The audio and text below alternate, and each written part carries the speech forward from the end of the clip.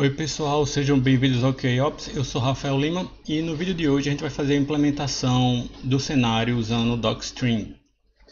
Não, a gente tem, vem falando de que o Canva é desde a teoria até, até o início da criação do projeto e as implementações. Se você não viu esses vídeos, é, eu recomendo você assistir, eu vou postar aqui os, os links para esses vídeos e se você não se inscreveu, se inscreve, marca o sininho para você receber as notificações e você poder acompanhar todo esse conteúdo, que é bem importante você conseguir entender todo esse contexto, tá bom? Então vamos começar? Eu tenho aqui o, o nosso projeto aqui, a gente tem o arquivo usuário feature, né? a, gente, a gente já implementou esse aqui, e esse aqui vai ficar para o próximo, próximo vídeo. Mas a gente também tem aqui os, os Step Definition, que são nossos passos. E uma coisa que eu acho importante eu explicar é por que, que a gente tem esses dois aqui, tá? Eu estou usando o mesmo código, o mesmo Step Definitions, a mesma implementação, mas com arquivos separados. Então eu tenho o User Feature em inglês e eu tenho o Usuário Feature em português. O em, o em inglês está todo em inglês e o usuário em português está todo em português, porém o código é o mesmo. E a forma que eu faço com que, que eu faço isso funcionar é justamente no método eu tenho aqui dois, duas expressões regulares, uma em inglês e a outra em português, e ele consegue mapear os dois. Então é por isso que eu consigo é, que, que tem esses dois. No seu projeto você vai escolher uma forma só né? Ou vai ser em inglês ou vai ser em português. E você só vai usar uma dessas aqui, tá bom?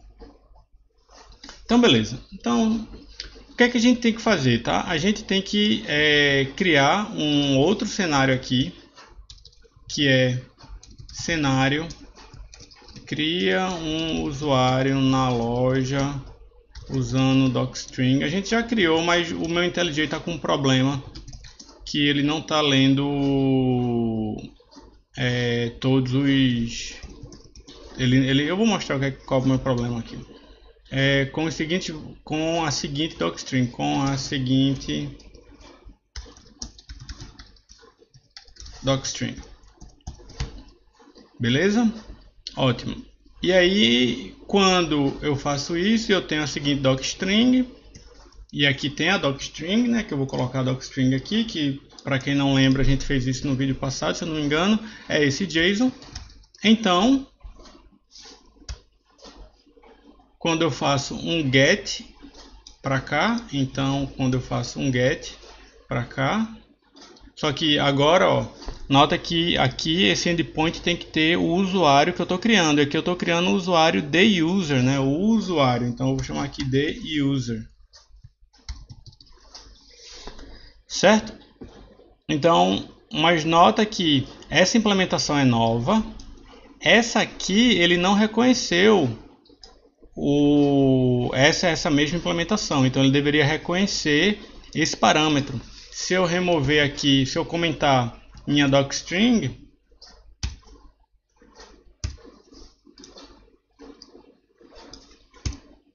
você vê que ele reconheceu.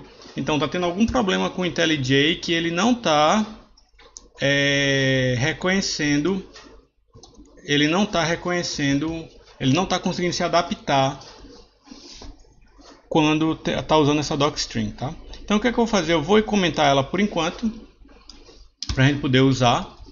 Isso não vai atrapalhar a gente. E a gente vai seguir o mesmo processo aqui. Você vê que ele não reconheceu esse aqui, né? Porque ele está né, com, esse, com, esse, com esse fundo meio esverdeado, marronzado eu vou fazer Alt Enter, eu vou dizer que eu quero criar um, o step e eu vou escolher já o step que eu já tinha criado. Então ele, né, é exatamente a mesma coisa que ocorreu da outra vez, ele não reconheceu, você vê que ele não mapeou ainda, porque ele reconheceu inteiro só, tá? Então eu vou colocar aqui o Word e eu vou postar o vídeo que eu descrevo, o vídeo passado eu descrevo exatamente esse processo de como você escolher essa expressão regular aqui, se vai ser word, se vai ser inteiro, se vai ser string, tá? Então, se a gente voltar aqui, ó, ele já reconheceu, perfeito. Porém, isso aqui é uma string, né? O word é uma string que a gente vai chamar de endpoint, né? Que é o nosso, o nosso, o nosso endpoint. nossa rota, né? E aí, o que é que eu vou fazer agora, né? É muito semelhante a esse aqui, tá? Então eu vou vir aqui eu vou dizer quando, né? Ah, faltou um detalhe, faltou a docstring, né? Então eu vou descomentar essa docstring. E eu vou dizer que aqui também recebe, no caso é uma docstring. Você viu qual foi o tipo, deixa eu remover ela daqui para você poder ver qual foi a docstring que eu usei. Então, docstring é justamente do cucumber, cucumber docstring. E eu vou chamar aqui a variável de docstring. Beleza? Então aqui eu vou fazer o que? Eu vou fazer um given. Given que eu tenha um body. Né?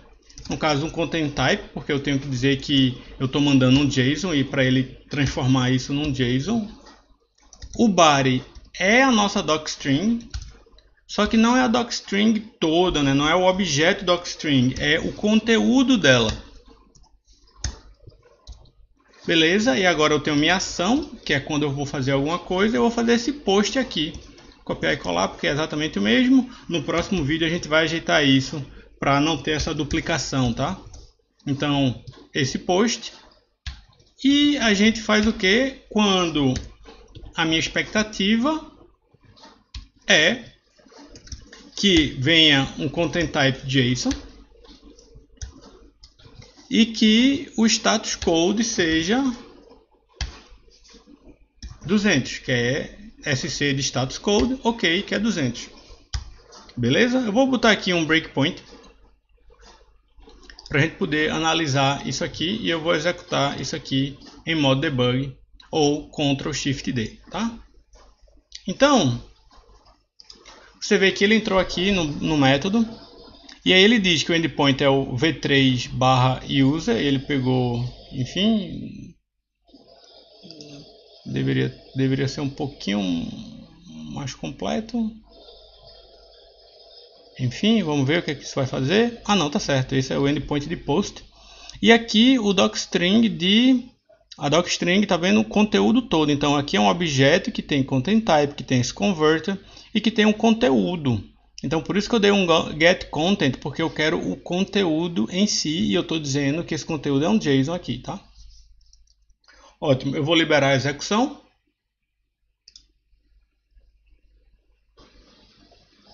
Entrar aqui no console, ele passou esse aqui, né, que a gente já fez essa expectativa, e ele falhou aqui. Por quê? Porque o que estava esperado veio nulo. Ele esperava é, na verdade, o, o que ele achou foi the user e está correto, mas ele esperava o, o, o valor esperado está nulo. E vamos, vamos observar o que, por que está nulo. Né? Então, se eu olhar aqui, esse passo é exatamente esse passo. Então, a única coisa que está mudando é uma variável. Como é uma variável, ela está indo para lá certinho.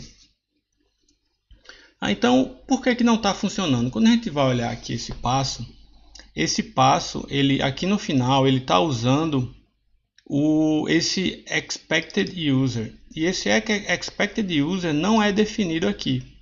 No vídeo passado, esse expected user a gente definiu aqui, justamente para quando eu faço meu post, quando eu faço minha ação aqui, ele tem esse expected user que é um mapa, ele vai receber um mapa que está vindo do cenário e a gente já guarda ele como é uma variável da classe, ele é compartilhado entre todos os métodos. Então por isso que eu estou usando aqui, eu, é assim que eu consigo ver que o que eu esperava é o que eu mandei. Né? É... E aí, aqui como é que a gente teria que fazer? Eu teria que ter, eu teria que definir esse expected user, porque no momento está nulo, ele, ele não tem nada aqui, ele está usando esse aqui e ele está dando esse get username nele aqui que não tem nada. Então eu tenho que eu tenho que setar, eu tenho que criar esse esse mapa aqui. Então expected user ponto put que eu vou estar tá inserindo ele já diz aqui ó mande um aqui e um valor. Aqui a gente já está usando que é essa username. E o valor é o valor que a gente espera do usuário. Esse usuário aqui que é como ele está pegando. No nosso caso é o the user então, the user. Beleza? Isso está errado, tá? Porque aqui eu estou marretando o código. Estou dizendo exatamente sempre que você entrar aqui nesse método vai ser esse usuário e pode não ser verdade. Pode ser que eu mude aqui, se eu não mudar nada lá vai dar problema. Mas por que eu estou fazendo isso? Porque, como eu falei, esse cenário aqui não é o cenário que a gente vai estar tá escrevendo e o cenário que a gente está usando especificação. Por exemplo, esse é um cenário que a gente, eu estou mostrando como você vai usar, como se você quisesse usar o JSON, mas não é a forma que eu acredito que tem que ser. Então, eu estou mostrando como é que você vai usar, mas é, no final das contas a gente vai fazer todos esses assim. Você vai ter o conhecimento e você decide ou não.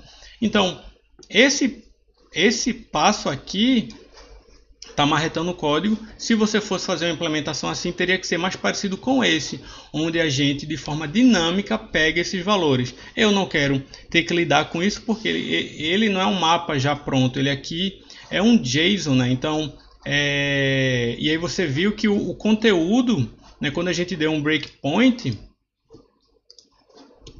vou botar aqui um breakpoint, né? E a gente rodar ele de novo, o conteúdo dele, o content type, aqui é tudo uma string, tá vendo?